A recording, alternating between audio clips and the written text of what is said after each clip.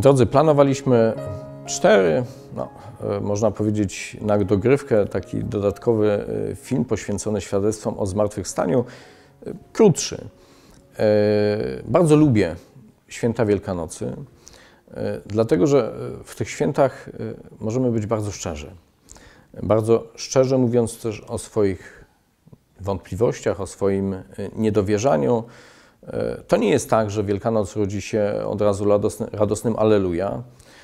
Nie, Wielkanoc rodzi się z niedowierzania, z takiego wybudzania się tego do pytania, jak żyć, kiedy nie ma już Jezusa, w przyjmowaniu świadectw, które pojawiają się jako pierwsze ze strony kobiet, no, pełnego niedowierzania. To kobiety niosą jako pierwsze świadectwo o tym, że Jezus Chrystus żyje, że Jezus zmartwychwstał, ale uczniowie nie wierzą, bo to jest nie do uwierzenia.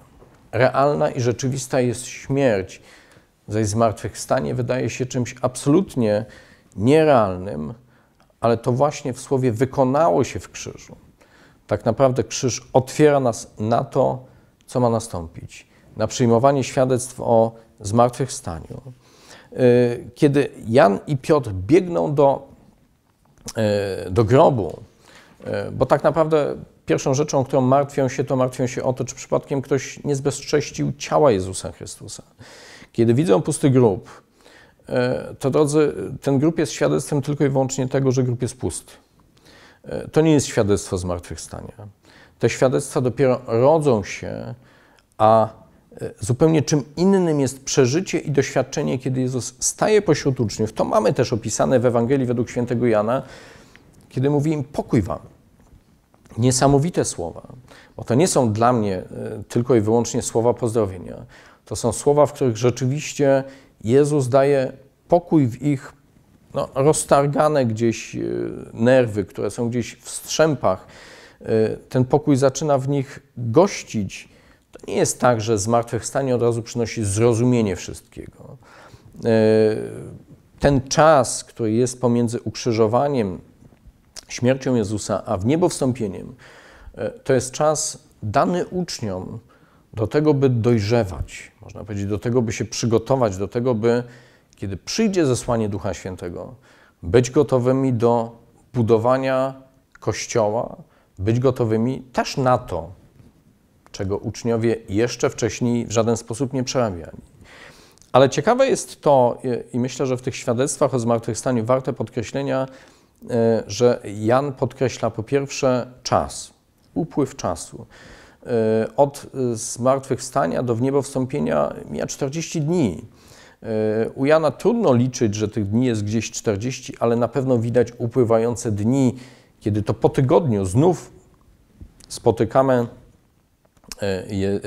uczniów i spotykamy Tomasza. W tej niesamowitej historii niedowierzania. Po raz kolejny, drodzy.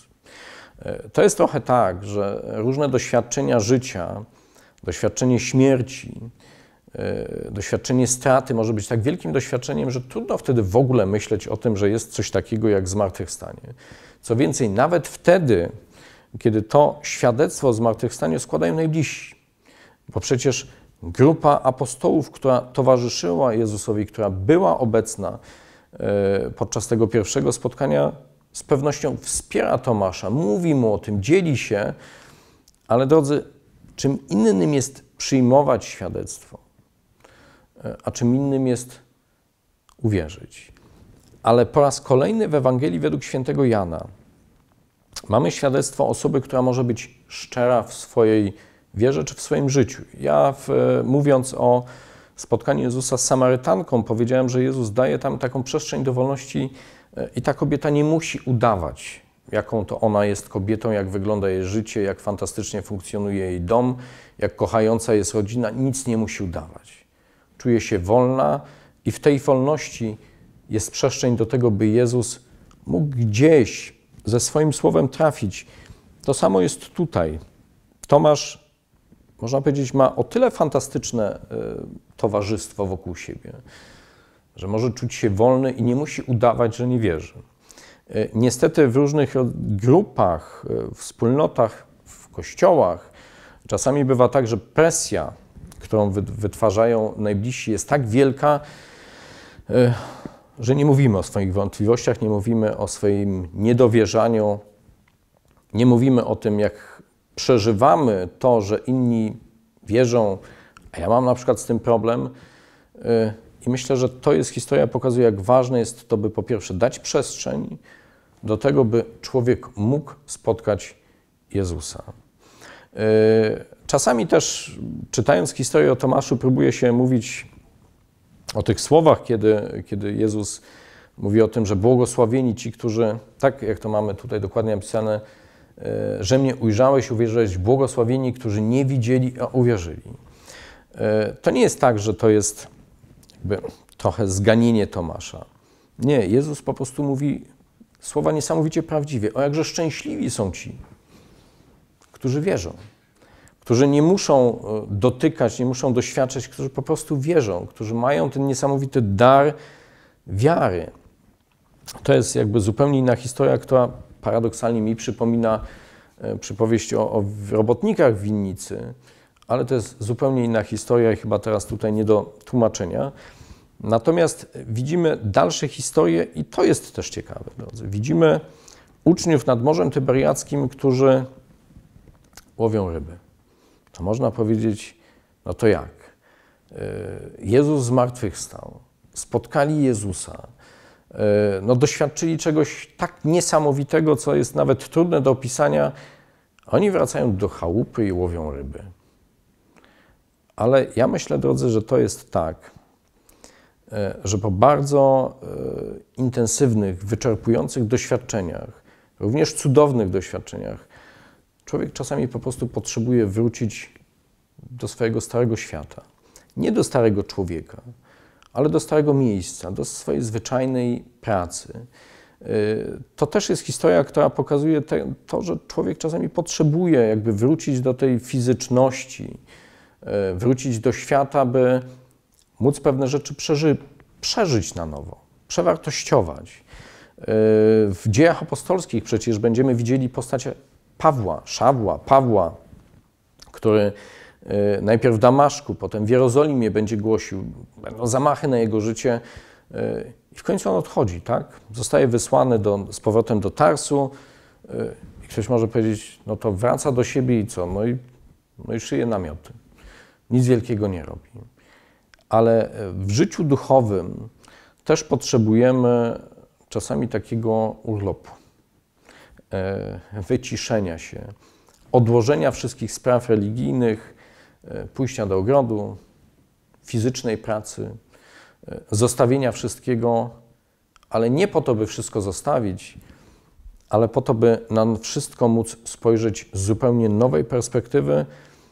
I ta perspektywa pojawia się.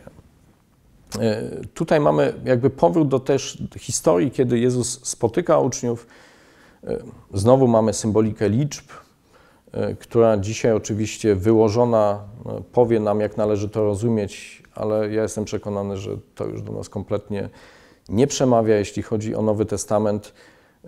Natomiast świadectwo o zmartwychwstałym kończy się czymś niesamowicie ważnym z perspektywy człowieka, który czuje, że w jego życiu było coś nie tak. tak? To jest Piotr. E, no bo przecież Piotr zaparł się Jezusa. E, I pomimo tego, że uczestniczy i w pierwszym spotkaniu z Jezusem, i drugim, i pewnie piątym, i dziesiątym jest nad Morzem Tyberiackim, e, to Jezus wie, że Piotr ciągle gdzieś ma w sobie zadrę, że zdradził. I ta rozmowa z Jezusem jest mu niesamowicie potrzebna. Ten taki indywidualny czas, indywidualne spotkanie E, kiedy nie w gronie już wszystkich, ale po prostu sam na sam z Jezusem, e, mogę też powiedzieć rzecz niesamowicie ważną. Panie, kocham Cię.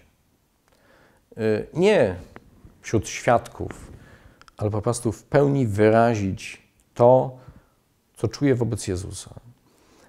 To jest niesamowicie uwalniające, dające Piotrowi no, niesamowitą siłę do tego, że przecież to on będzie tym, który jako pierwszy będzie głosił kazanie, to on będzie tym, który w dziejach apostolskich będzie pokazany jako pierwszy, e, zwiastujący o zmartwychwstałym Jezusie Chrystusie. E, drodzy, te wszystkie świadectwa, które tutaj mamy, są też połączone z obietnicami. Dlatego zachęcam Was. E, to jest tak naprawdę 20-21 rozdział. Bardzo krótki fragment świadectwa, które mamy zapisane w Ewangelii według świętego Jana. E, by na spokojnie przeczytać sobie te wszystkie świadectwa, zobaczyć, jakie obietnice w każdym z nich są zawarte, ale też zobaczyć, że jesteśmy wolni w tym, by mówić o swojej wierze, ale też wolni, by mówić o swoim niedowierzaniu. Bo przecież jesteśmy kościołem, który jest ciągle w drodze. Kościołem, który uczy się, jak żyć i uczy się, jak składać świadectwo. A ja Wam bardzo dziękuję za cały, za cały ten czas, który mogliśmy wspólnie razem, choć na odległość, przeżywać. Zostańcie z Bogiem.